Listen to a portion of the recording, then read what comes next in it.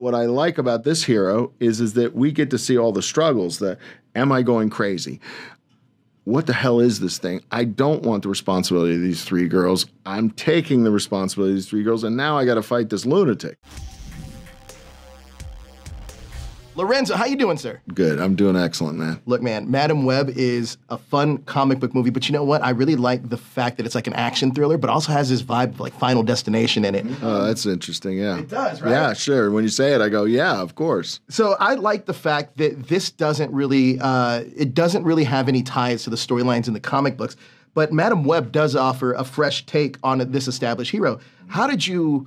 Can you talk about balancing staying true to the source material while offering a fresh take on the character? It's the balance that you try to pull off in a situation like this. On some levels, it gives you tremendous freedom because you have the room to do it. On other levels, it's a little more terrifying because the fans will kill us if we you know if we don't get it right we'll kill ourselves true obviously but uh, the truth is you are putting this character out there that peop- the, the fans know and have a perspective on and we're presenting it in a very different light you know but that was the attraction to the property was the idea of a character who was blind like how did she get there you know? And what what is that? And the i think the advantage for us or i should say the attraction was what a vulnerable character to become an all-knowing character in a sense. One of the themes I love about this film that, that really affects Cassie and um, and the other three uh, is the theme of empowerment. Can you talk about that a little bit? it's obviously a female empowerment movie in many levels, but it's also a hero empowerment movie. Absolutely.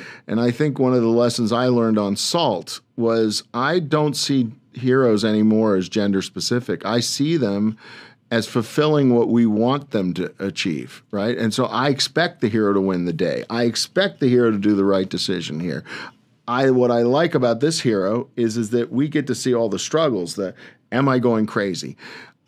what the hell is this thing? I don't want the responsibility of these three girls. I'm taking the responsibility of these three girls, and now I got to fight this lunatic, you know? So you get to go on the, in a way, the true hero's journey. I also love the approach to Ezekiel Sims' character because he almost feels like a slasher movie Spider-Man villain. Um, but can, was Kaine Parker ever uh, considered to be in this film at all? I think we looked at everything, honestly, in terms of the lore of it. Um, Ezekiel just turned out to be the character that we found most appealing. And the, the sort of um, what was so great is he's not a character who wants world domination. He's not a character that wants the traditional things that these char- villains usually have in this kind of movie. And that's why Ezekiel became that. You know, he's he's very human. Like, I don't want to be killed.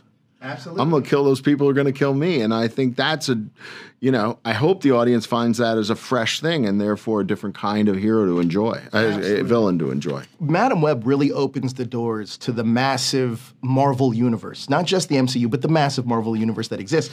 Um, when you were making this film, did you approach it with a larger universe in mind?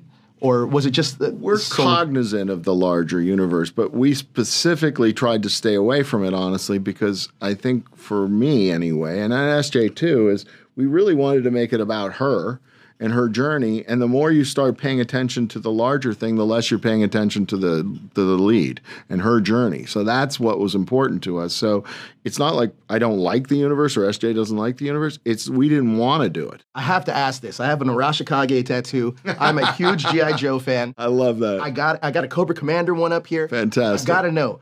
Uh, we saw a tease after Rise of the Beast with the GI Joe. When are we actually going to see the GI Joe back on screen, crossing over with Transformers? well, we're hoping that that will be in the summer of 26. Ah, I love it. I love it. Um, now, I got to ask you, Madame Web, like I said, opens up the universe for the, for the different Spider-Men to come in. If you could team up any of these characters with the previous, any of the previous Spider-Men, who would that be? The honest truth is, we don't want to pair them up. Because, Really? Yes, because I mean, look, that may change over time, and it may change when she becomes the blind character. But we didn't want, um, for me, what I'm starting to find about these larger universes is it's almost a burden to know all the different things, and again, we're trying to make it her journey. So, you know, in some in some respects you know, I'd want a new villain. I want a new experience. I want a new challenge for her, but I don't want it to play out in, in, in the larger universe that is available to us. Will we eventually take it? You never know where you're going to go. But I think it's been a, an advantage for this movie that we didn't do it. So I, we're probably going to stick to our guns. There you go. Well, Lorenzo, thank you so much for your time, man. Very Thank you. insightful. I appreciate your time. Appreciate it. Thank you. Nice to meet you. Can't wait. 2026, man. Yeah, right. Hold you to it.